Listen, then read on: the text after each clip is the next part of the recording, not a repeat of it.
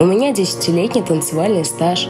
Я много общаюсь с веселыми и одновременно мудрыми людьми. А теперь не останавливайся.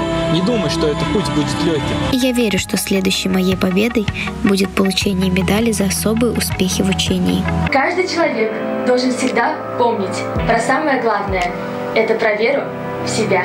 Верь в себя. Именно этот посыл выпускники должны были пронести в финальные видеопрезентации. Кто-то рассказал свою историю преодоления страхов и неуверенности, многие предпочли поделиться достижениями, были и варианты с шутками и сарказмом. Так кто же более удачно справился с задачей? Решала экспертная комиссия, куда вошли организаторы весеннего балла 2019 и партнеры конкурса «Король и королева». Ребята, они подошли нестандартно на самом деле, но были те, кто вот в лоб да, отвечают на вопрос «Верь в себя» и рассказывают о себе, рассказывают о том, как у них все получается, как они достигают каких-то целей.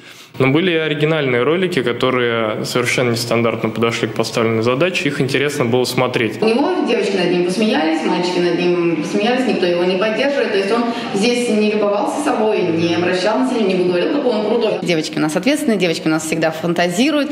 Поэтому я что ожидала, то и увидела. Девчонки молодцы. Меня вот я больше наоборот по мальчикам бы сказала, потому что они меня приятно удивили. Во-первых, меня удивило то, что участвует так много людей.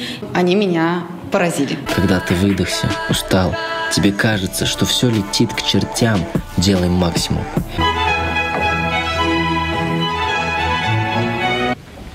Почему-то мне кажется, что ты думаешь, что ты лучше меня.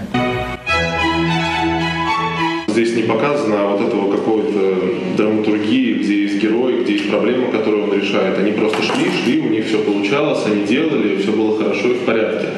И как бы, ну и чего? В первую очередь я смотрел, конечно, не на красоту картинки, а именно на сюжет, то есть на то, как раскрылись сами выпускники в этих роликах. Ну и в конце концов мы этими конкурсами да, передаем какие-то ценности. Очень было важно, чтобы эти ценности передавались как-то через эти ролики, и было видно, что эти выпускники являются примером. Пока партнеры ломают головы, кому отдать корону, выпускники отошли от духа соперничества и отправились на совместную фотосессию. Стильные платья и костюмы, модные прически и мейк, фотоаппарат в руках профессионала. По словам ребят, борьба за титул отошла на второй план. И все это уже ощущение полной победы. Кто же получит титулы короля и королевы, узнаем на главной сцене праздника на площади имени Ленина 25 мая в 12 часов.